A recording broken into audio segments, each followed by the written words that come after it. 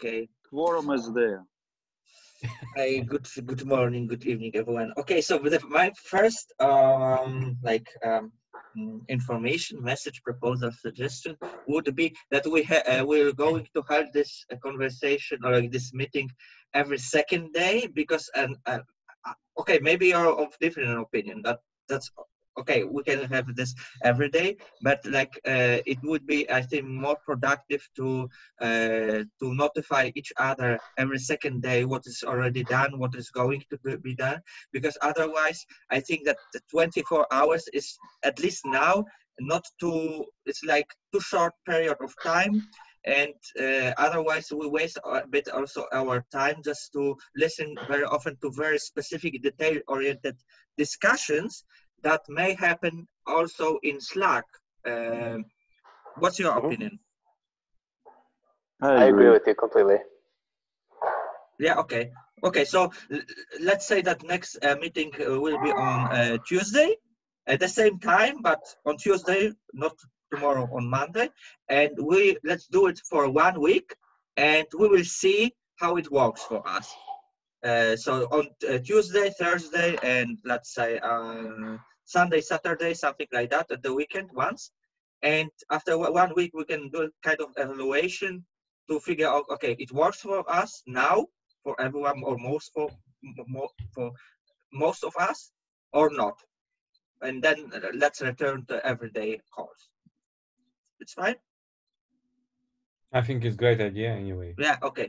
Good. Um uh, still just a, a short uh, notification. I'm still talking with different persons like janos being a new member of our team. Welcome janos.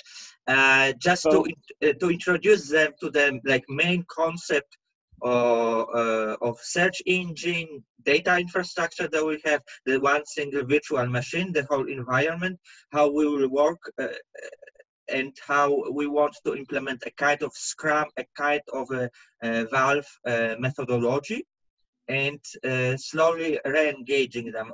Also for, by, by giving for instance them to access to the virtual machine to be uh, so that they uh, they will be also invited to our github account to share their notebooks there things like that. It's more organizational stuff. I'm doing this one-on-one because i message every single person that uh, were in our that was in our uh, channel.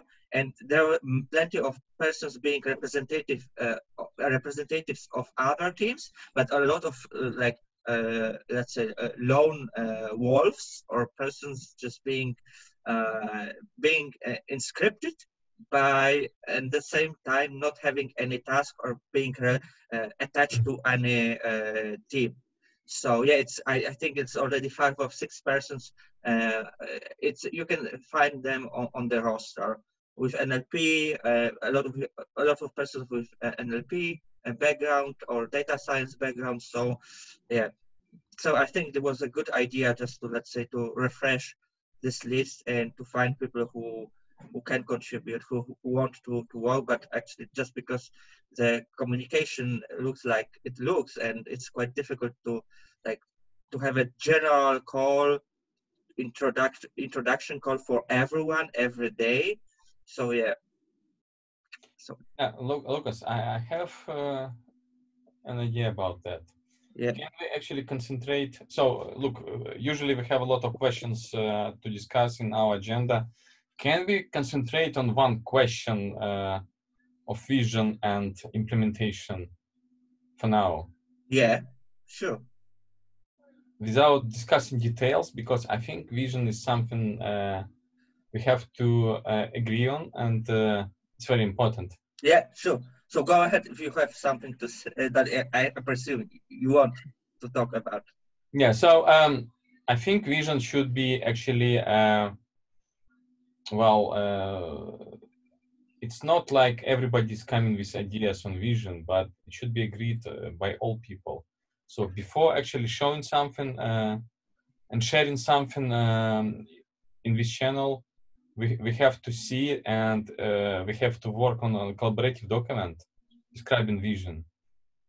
So uh, I think this is kind of starting point. So first, uh, if you have some ideas, just put it in common document, and I think Lu- Lucas, you should uh, it.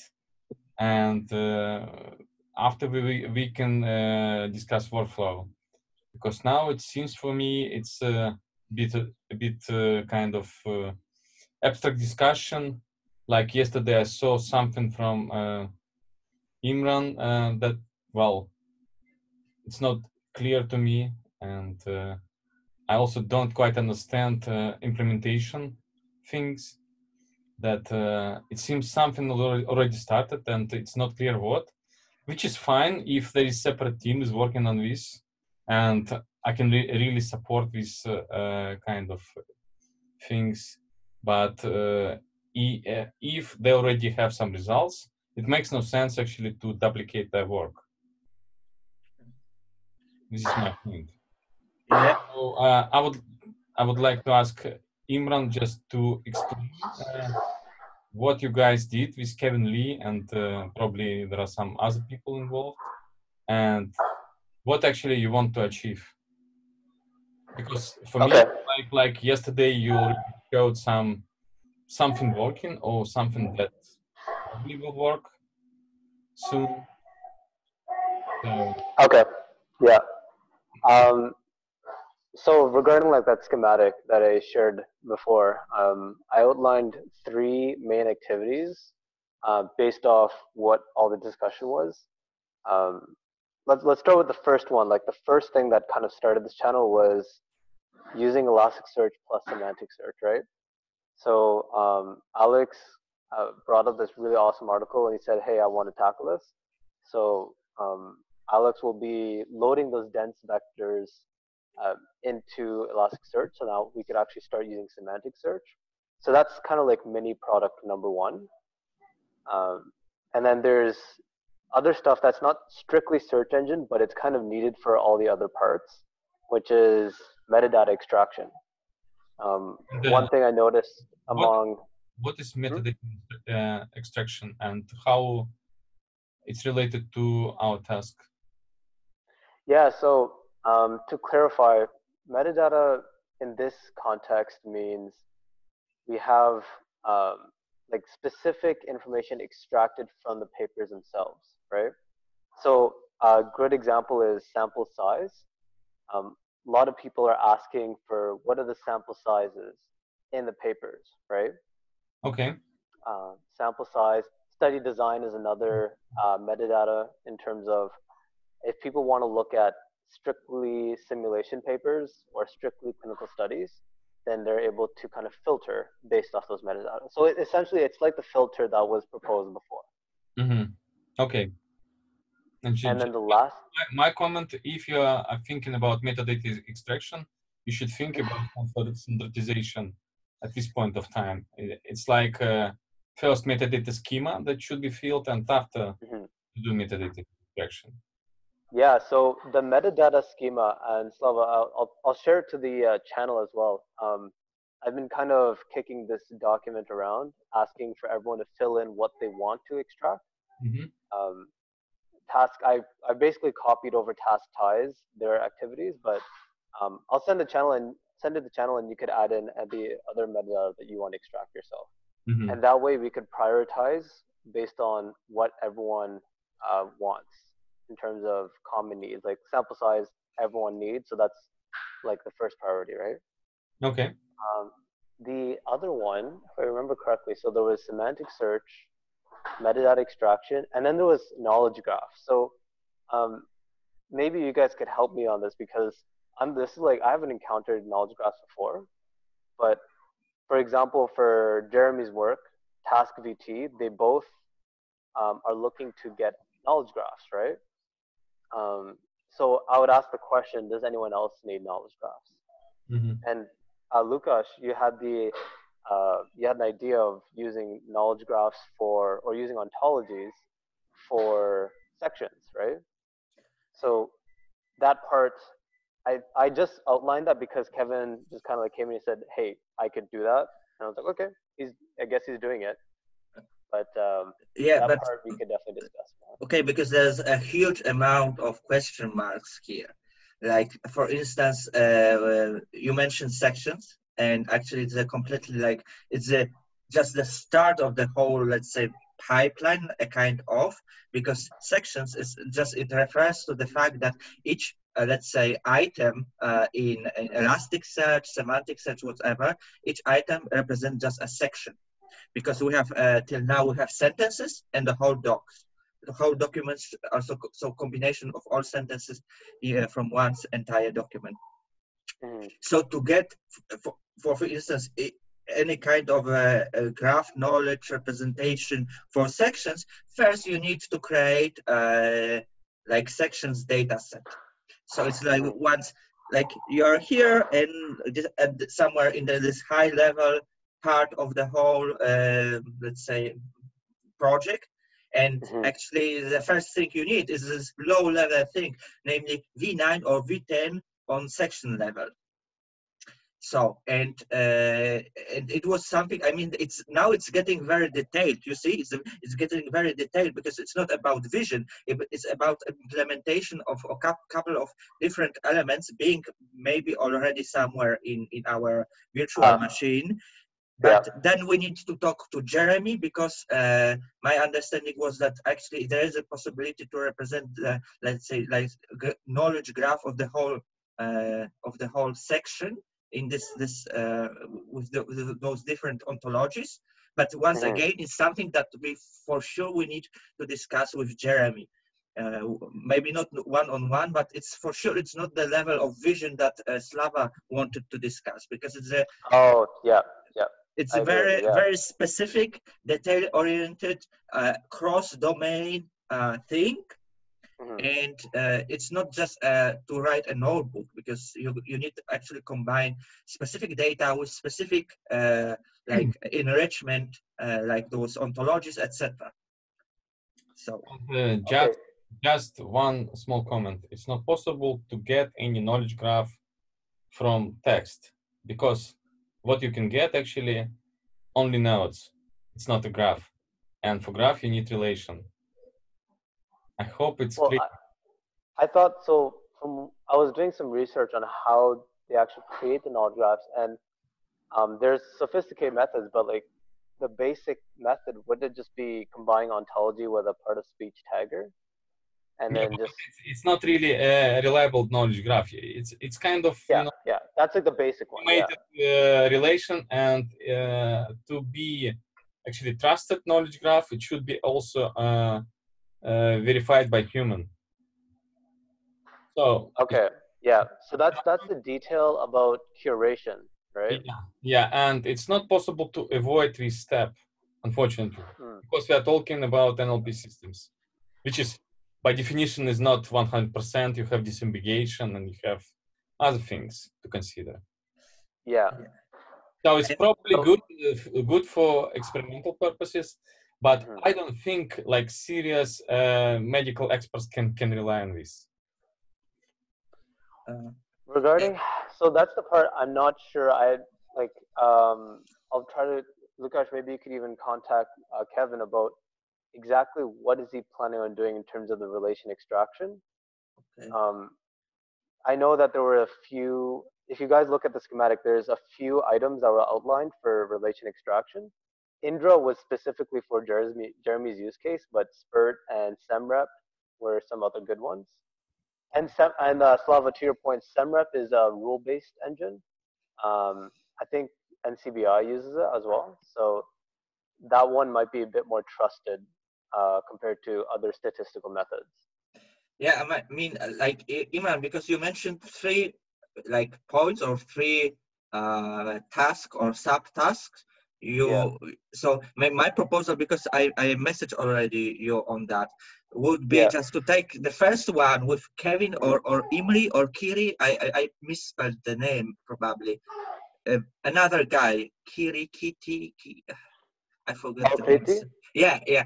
Uh, so to take them and to start working on the first task, this one, uh, and in the, with this valve, valve, valve methodology or something like that, Mm, just contact uh, Yason on to get the like the, the outline of of this uh, methodology, and uh, let's look how it works for you because uh, like for other teams when I launch one group working on specific task this week, it will be great.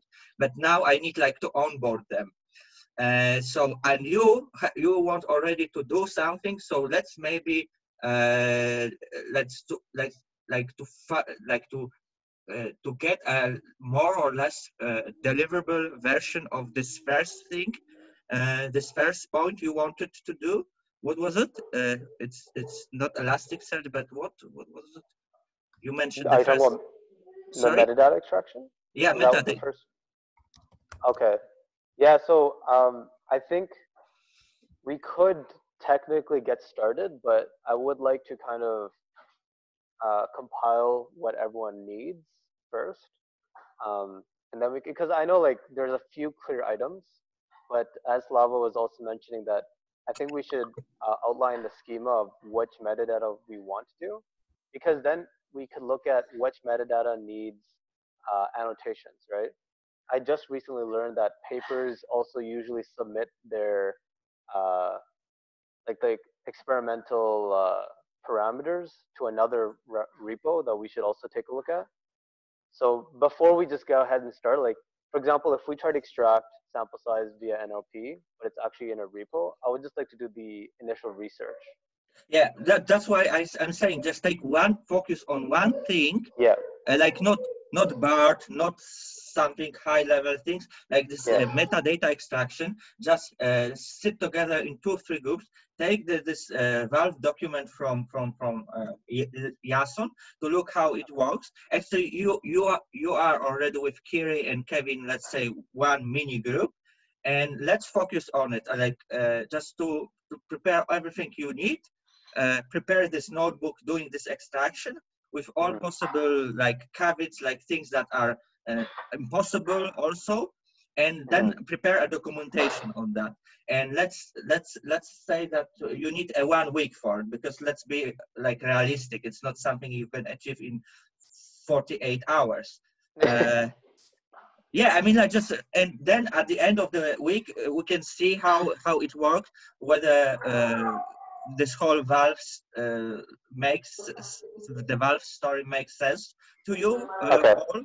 and then yeah because uh, you see there's a lot of uh, like this high level things that actually depends on the low level things that's right and once we don't fi- have a fixed uh, low level processes like v9 v10 v12 on uh, sections level etc etc then you mm-hmm. actually we can talk about it endlessly without providing nothing, you know. Yeah. No, you're, you're absolutely right, Lukash. Uh, I'll go. I'll uh, definitely try the Valve methodology.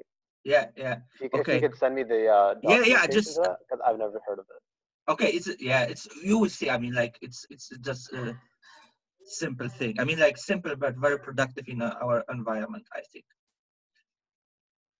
Uh, and um, sorry, uh, Lukash, I I just wanted to ask Slava, did, did was I able to uh, help answer your question?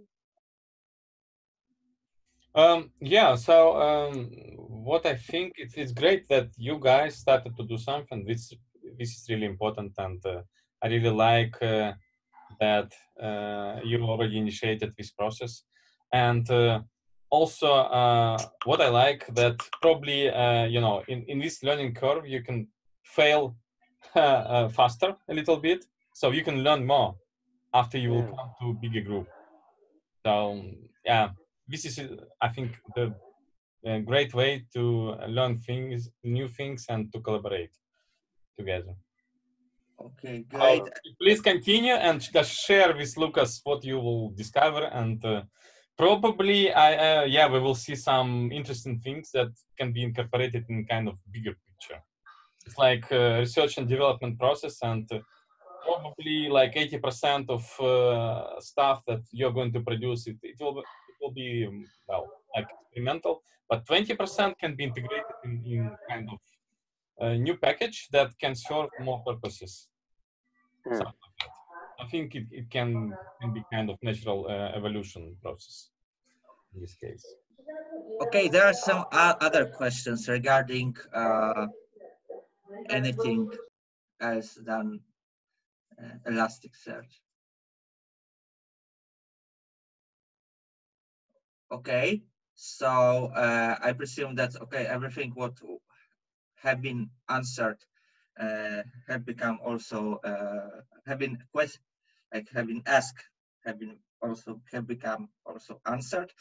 Never mind. Uh, so yeah, and ne so next meeting, let's do it on on uh, Tuesday the same time, the same place, but just uh, let's let's take 48 hours to uh, to work on our things uh, because otherwise, like uh, too much redundant information redundancy is also can be like um, it's not necessary. I think so okay uh, so let's uh, if any questions or, or, or, suggestions so let's uh, let's put it everything in in uh, in slack so uh, have a good uh, day good evening good morning whatever and we will hear we will hear each other on slack or on tuesday.